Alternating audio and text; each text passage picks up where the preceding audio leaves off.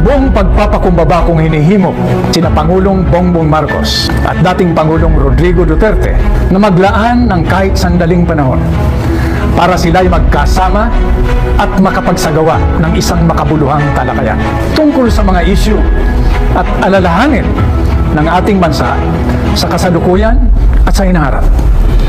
Naniniwala ako na lahat tayo'y may kakayahang iwasan ang mga panganib ng digmaan hidwaan at ang mga pinsalang dulot ng pagkawatak-watak ng ating bansa.